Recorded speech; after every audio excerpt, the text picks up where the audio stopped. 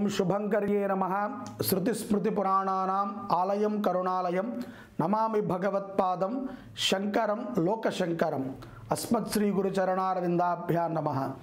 కర్కాటక రాశి వారికి రెండు వేల ఇరవై రెండవ సంవత్సరము జనవరి నుంచి డిసెంబర్ వరకు ఉన్నటువంటి సంపూర్ణ గోచార ఫలితాలను తెలియచేస్తున్నాము. శ్రద్ధగా ఆలకించండి.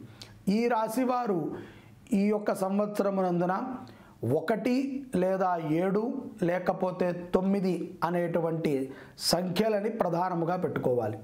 ఈ రోజుల్లో ఈ సంఖ్యలలో మీరు ఏ కార్యము చేసినా విజయము తథ్యము అది ఒకవేళ ఆటంకము వచ్చినా ఆ ఆటంకము శీఘ్రముగానే తొలుగుతుంది. అదే విధముగా శనివారము మంగళవారము మరియు బుధవారము. ఈ మూడు రోజులు కూడా మీరు అనుకున్నటువంటి పనులకు సఫలమైనటువంటి ఫలితాన్ని భగవంతుడు అందిస్తాడు. ఈ మూడు రోజుల్లోనే ఈ మూడు వారముల్లోనే అద్భుతమైనటువంటి విజయమైనటువంటి ఆలోచనలు మీకు వస్తూ ఉంటాయి. తద్వారా కుటుంబ సౌఖ్యము ముఖ్యముగా ఈ యొక్క రాశి వారిలో కొన్ని అవలక్షణాలు మానేటువంటి సందర్భాలు కనబడుతున్నాయి. వ్యసనములు ఉన్నవారు ఉంటారు. లేదండి అని మనం అనుకోకూడదు. ఎవరైనా ఉండవచ్చు. అది ఏ వ్యసనమైనా అయి ఉండవచ్చు. అతిగా మాట్లాడటము వ్యసనమే. ఇతర విషయాల గురించి అవగాహన తెచ్చుకుంటాము వ్యసనమే. అదే విధముగా అనవసరమైనటువంటి సందర్భాల గురించి చర్చను చేయటము వ్యసనమే. ఒక మద్యము మాంసము ధూమపానము మాత్రమే వ్యసనము కాదు. అనేక వ్యసనాలు ఉంటాయి. ఇతర విషయాలు ఇతరుల కుటుంబాల గురించి మనకు అనవసరం.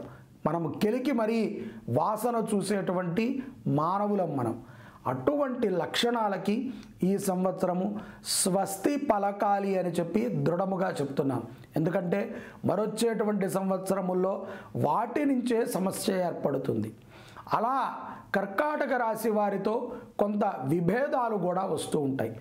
న్యాయపరమైనటువంటి పోరాటాల ఎందు పుష్కలముగా విజయాన్ని సాధిస్తారు. అయినప్పటికీ సంతృప్తి ఉండదు. అహంకారం అనేటువంటి మాయ వలన దేనిని కూడా గ్రహించలేకపోతారు కర్కాటక రాశివారు ఎంత చెయ్యి ఏదో మీకు తెలియనటువంటి అహంకారము మీ వెన్నందే ఉంటుంది. అది ఏమిటి? ఎందుకు ఇంత అహంకారముగా ఉంటున్నారు? ఏదో జరిగినది అది ఆనందమైనటువంటి ఫలితాన్నే ఇచ్చింది. అయినప్పటికీ సంతృప్తిగా ఉండరు అనేటువంటి విషయాన్ని గుర్తుపెట్టుకోండి. తృప్తి అనేది పొందాలి. ఉన్న దాంట్లో ఆనందముగా గడపడానికి ప్రయత్నము చేయండి. అనవసరమైనటువంటి అత్యాసలు పోవద్దు. విపరీతమైనటువంటి మాటలు మాట్లాడద్దు. అహంకారభూతముగా మాట్లాడద్దు. ముఖ్యముగా మీరు సంఘములో మీకు తెలిసినది తక్కువ తెలియాల్సినది చాలా ఉన్నది. మీకు తెలిసినదే జీవితం అని మాత్రము జీవనము గడపవద్దు. అట్లా మీరు గడిపినట్లయితే పదే పదే ఎదురు దెబ్బలు తగులుతాయి. విద్యార్థులకి కూడా తోటి స్నేహితులు తోటి తనతో పాటు చదివేటువంటి విద్యార్థులు ఏదైనా ఒక మాట చెప్పినా వారి మాటని బేకారతలు చేసి ముందుకు వెళుతూ ఉంటారు. ఇది మంచిది కాదు సుమా. ఇలా మీరు చేసినట్లయితే కనుక ఇబ్బంది పడాల్సి వస్తుంది. ఎవరైనా ఏదైనా ఒక విషయం చెప్పినప్పుడు కొంత శ్రద్ధగా వినండి. దాంట్లో ధర్మం ఏమిటి సత్యం ఏమిటి అని ఆలోచించండి. తద్వారా జీవనాన్ని గడపండి. మూర్ఖత్వముగా అప్పులు చేయటము బలవంతముగా ప్రయాణములు చేయటము మన స్తోమత లేకపోయినా సరే ఖరీదైనటువంటి వస్తువులు కొనటము అప్పు చేసి సుఖమైనటువంటి జీవనాన్ని అనుభవించడం కర్కాటక రాశి వారికి మొప్పుకు దారి తీస్తుందిగా అర్థమవుతోంది. సుఖమైనటువంటి జీవనాన్ని గడపాలి ధర్మబద్ధమైనటువంటి జీవనాన్ని గడపాలి అకల్మషమైనటువంటి ఆలోచనలు ఉండకూడదు. ఇవన్నీ మనకి మనకిగా రావండి. మన చుట్టుపక్కల ఉన్నటువంటి వ్యక్తులు మనను ఆ విధంగా మారుస్తూ ఉంటారు. ఇలాంటప్పుడే మనము కొంత ప్రశాంతముగా ఉండాలి. ముఖ్యముగా కర్కాటక రాశి వారు రెండు వేల ఇరవై రెండవ సంవత్సరమున భగవద్గీతను సంపూర్ణముగా చదివిన భగవద్గీతని చదివినది చదివినట్టు రాసిన అద్భుతమైనటువంటి జీవిత సత్యాలను తెలుసుకుంటారు. జీవన విధానం మారుతుందిగా నేను మీకు ఘంటాపథంగా సూచిస్తున్నా. ఇది మీరు చెయ్యండి. సంవత్సరాంతమునందున మీరు ఊహించిన విధముగా అభివృద్ధి చెందుతారు. శత్రువులు కూడా వేచి ఉన్నారు మీకోసం. ఎప్పుడు దొరుకుతారా? ఎప్పుడు వీడి పతనము చూద్దాము అని. కానీ భగవత్ కటాక్షం మీ మీద ఉండటం వలన అంత స్థితికి మీరు రారు. కానీ చుట్టుపక్కల వ్యక్తులు మిమ్మల్ని మారుస్తారు కదా. ఇది కదా ప్రమాదం. ఇలా ఉండటం వలన ధన నష్టము ఆస్తి నష్టము ముఖ్యముగా మానసిక నష్టము జరుగుతుంది. అప్రశాంతత ఆనందముగా భర్తతో ఉండాల్సిన సమయమునందున దుఃఖము భర్త భార్యతో ఉండాల్సిన సమయము పిల్లలతో ఉండాల్సిన సమయము ఇతర కష్టాల గురించి మాట్లాడటం. ఇది జీవితమా? ఇదా మనం బతకాల్సినటువంటి విధానం. ఇంటి బయటే కష్టములు వదిలి ఇంట్లోకి రావాలి. ఇల్లు అంటే గనక ఆనంద నిలయం.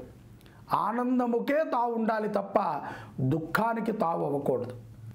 న్యాయపరమైనటువంటి విషయాల ఎందు కూడా చైతన్యాన్ని పొందండి. కంగారు పడి ఎదుటవాడికి అన్యాయము చేసి నువ్వు న్యాయం పొందాలి అనుకుంటే నీకు ఎప్పటికీ న్యాయం జరగదు. న్యాయముగానే నువ్వు న్యాయాన్ని సంపాదించాలి. ధర్మముగానే ధర్మాన్ని సంపాదించాలి. అధర్మమైనటువంటి ధర్మము ఉండదు అన్యాయమైనటువంటి న్యాయము ఉండదు. మనకి హాని కలిగించిన వాడికి హాని కలిగించటము మంచిదే. కానీ మనకి మంచి చేసేవాడికి మాత్రము మనం హాని కలిగించకూడదు. అలా కలిగించాలి అది ఏదో ఇప్పుడు నాకు మంచి చెయ్యట్లేదు అని చెప్పి ద్వేషాన్ని పెంచుకుని అన్యాయపరంగా ఆలోచిస్తే దుఃఖము నీకు తప్పదు. ధనపరమైనటువంటి సుఖములు ఉన్నాయి. అయినప్పటికీ అహంకారమైనటువంటి ఛాయ కూడా కనబడుతుంది. ధనము ఉండవచ్చు. మంచి పనులు చేయడానికి వాడండి. మీ దగ్గర ధనము లేక కాదు. మీరు నోరు తెరిచి అడిగితే ఎవరైనా ధనం ఇస్తారు. ఆ విషయం మీకు కూడా తెలుసు. ఒక మంచి కార్యక్రమానికి వాడండి.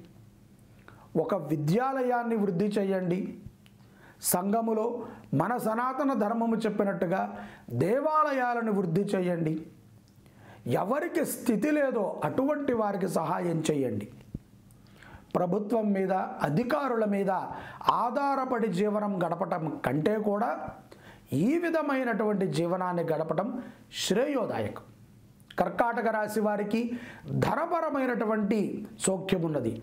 అనారోగ్య సమస్యలు అక్టోబర్ నుంచి డిసెంబర్ వరకు విపరీతముగా వస్తాయి. ధైర్యముగా ఉండాలి. మీరు భగవద్గీతను చదవటమే ప్రధాన ధ్యేయము. మీరు ధన సహాయము అంటే కనుక వెయ్యి రూపాయలు సహాయము చేసి పదివేల రూపాయలు ప్రొజెక్ట్ చేయకూడదు. ఐదు పైసలు దానము చేసినా చేయకపోయినా నువ్వు చేసేటువంటి అడ్వర్టైజ్మెంట్లో నీ పాపము ఎక్కువ అవుతుంది.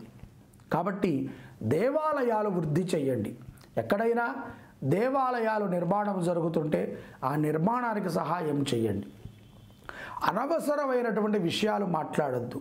ఉద్యోగస్తుల దగ్గర నుంచి వ్యాపారవేత్తల వరకు ఇటువంటి సమస్యాత్మకమైనటువంటి సంవత్సరము అయినప్పటికీ ధనసుఖము ఉంటుంది.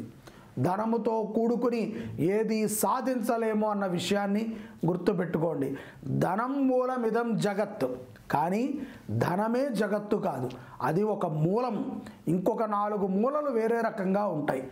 ధర్మబద్ధమైనటువంటి జీవనానికి ధనముతో సంబంధం లేదు.